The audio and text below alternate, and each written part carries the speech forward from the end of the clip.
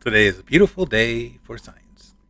We just had a beautiful solar event, a coronal mass ejection with a proton event that uh, we're already seeing the impacts of, and uh, it's just the S1 so far, which is impacting HF uh, frequencies and causing some minor blackouts for HF.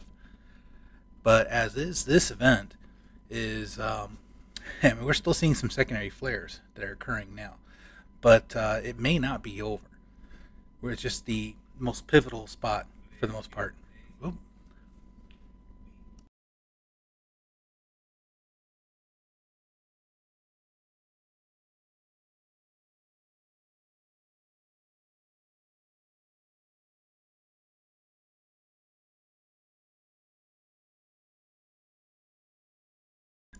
Apologies.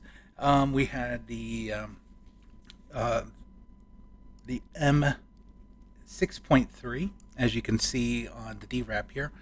We can look at where the most focused point of that activity was impacting the Earth uh, during that time. And shortly thereafter, there was a uh, radiation storm that had impacted us from the proton event that occurred. This uh, proton event, if I go over here, let's go ahead and pull that up, and we can see just how the uh, hardware uh, responds to this behavior, which is quite interesting. So we have this going, going, and then you'll see that it has, starts having registry issues picking up where the radiation's coming in at because this is a full-on radiation impact from those protons. Uh, granted, it's a very low amount, so nothing too significant.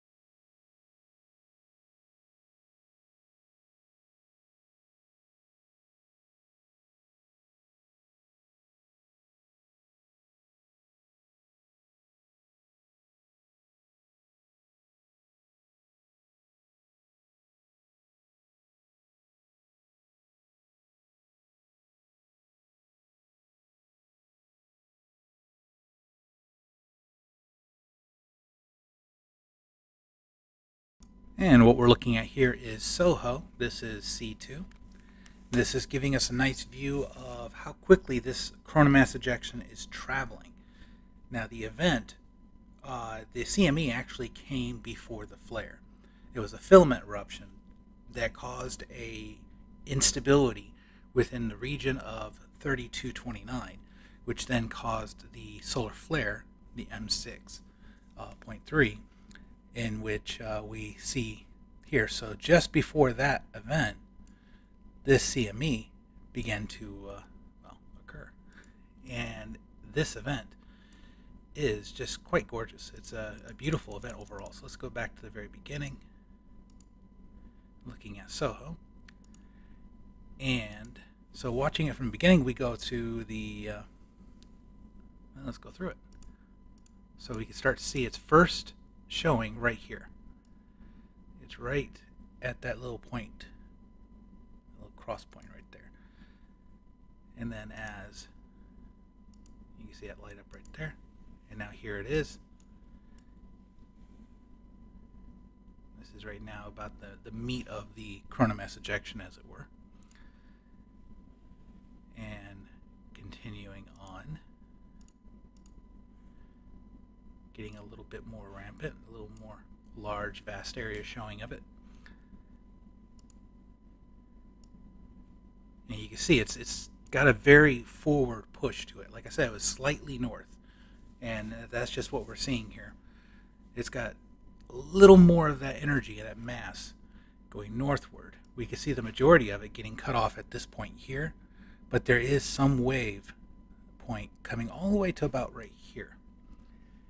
And same for here for the southern, we're starting to see the most of it cut off to about there. So the majority of this is actually going to the north slightly, but mostly westward. So we're not going to be impacted by the majority or the hardest amount of this or the, the most intense portion of that uh, plasma cloud. And that said, that's not it. There's more. and uh, here we go. Now we're starting to get beyond the scope of C2. And you can start seeing a little more of that activity showing up all the way to this point here. So we can look at a little bit of the difference there. And right there for the southern. And right here for the northern so far. And then as we go to a little further, we're seeing that Eve pushes even a little more. So now we're at this point.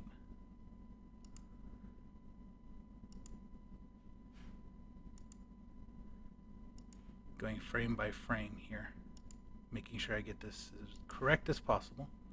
Yeah, we're a little bit over on this. And so what we have is basically a partial halo. We didn't get quite the full halo I had expected, but we did get a partial halo. This will, in fact, uh, impact Earth, and it is traveling rather fast. So showing up as quick as it did, we're talking maybe a 36 to 42 hour time span before we start seeing impacts of this, maybe even sooner.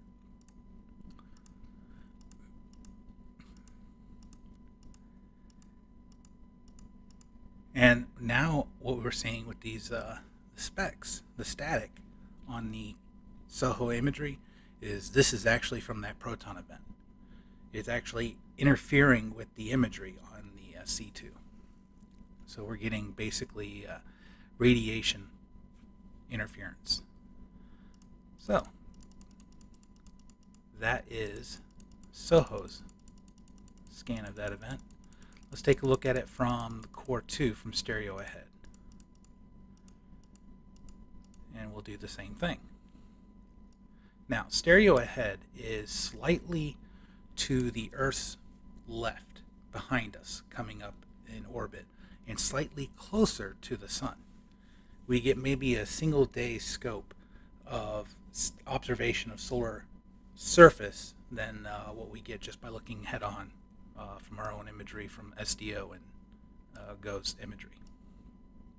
So it's not a huge uh, advance anymore, but in the coming about July of this year, this uh, the stereo ahead is going to actually bypass the location of Earth and hopefully continue to operate as it then begins to be actually ahead of Earth's orbit, meaning more than one way is it stereo ahead again.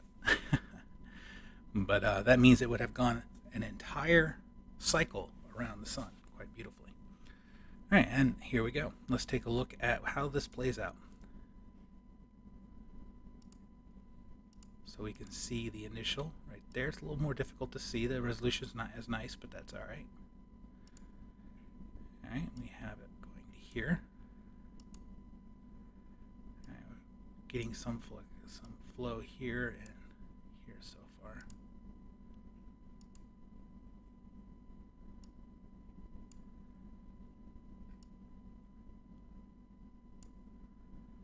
Alright, and keep going. Yeah, we're a little further over.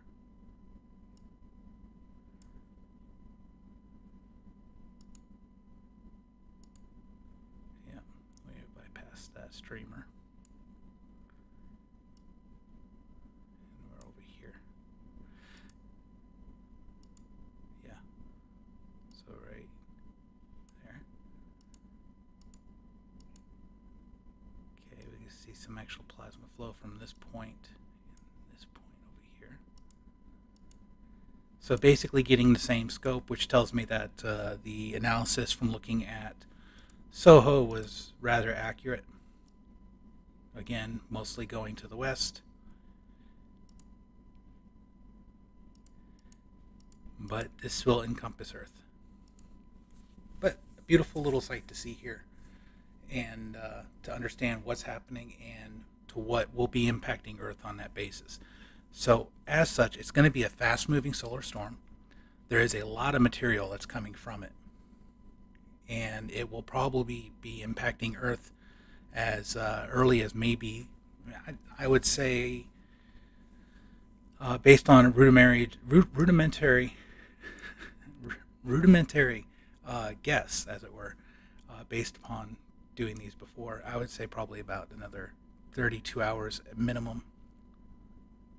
But uh, I'll go ahead and do the math a little bit later when we have more imagery under the uh, SOHO C3. Speaking of which, let's see if it's shown up on that as of yet.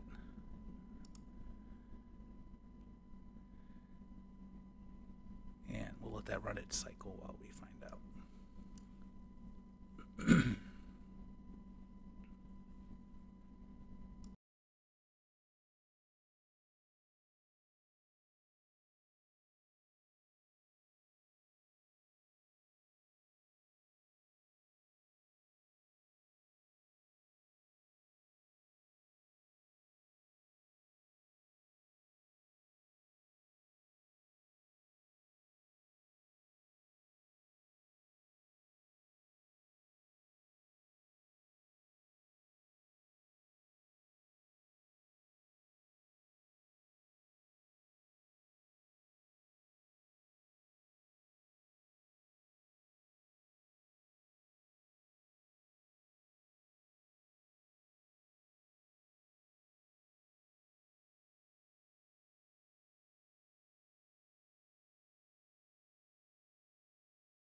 Yeah, change of plan since it's uh, not giving me the scope I want. We'll go ahead back and take a look at it from this perspective, which is uh, a little more detailed anyhow. So looking at the uh, the tool once again for this, let's go back up there, and we are going to go ahead and take a quick observation of this event from the very beginning.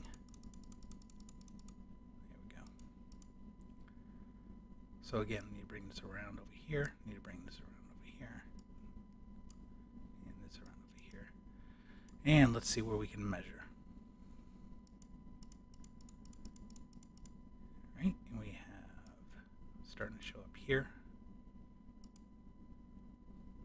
Can already see some of that northern push of plasma, but for the most part, it's not pushing as far south just yet. But as I said, it's oh, we're starting to see a little bit of that lighter cloud here, and that's most of that's coming from the coronal mass ejection that occurred almost simultaneously at region 32, uh, 35. So now we're already past that point over here, and of course the center is all the way over here for the thickest area. There's all, all that beautiful plasma right there.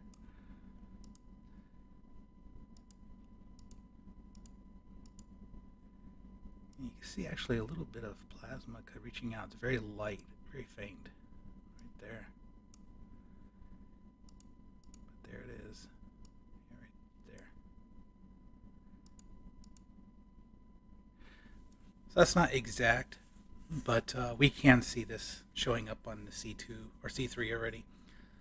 So given a little time, let's see if we can calculate speed.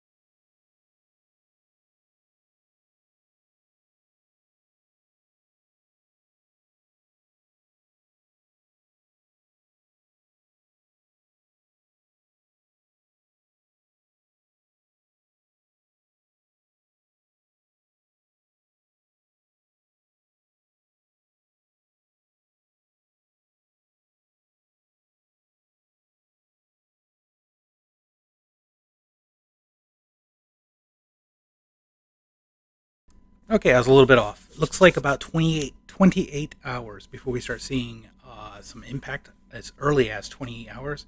Uh, give a 12 hour leeway, so 28 to 40 hours is my estimation for seeing the mass ejection from the M, actually the filament eruption that caused the M6.3 uh, joint filament eruption that occurred initially at 3229 and then subs- subsequently directly after, almost at the same time, right over 3235. 3234, region 3234, which is the furthest to the east or the left side. Move this out of the way. So we have 3229 is this region right here where everything initially began. It was a filament eruption. Shortly after that, I mean, like almost instantaneously, had another filament eruption that occurred right over 3225. And all we had that I can see still from looking at some of the imagery is that some subsequent solar uh, isolated solar flare activity occurred at 3234, which is this region here. So as such, uh, I do not think we're out of the woods yet with these trio of regions coming across. There is a lot of potential. All three, I would say, have potential of an X-class flare.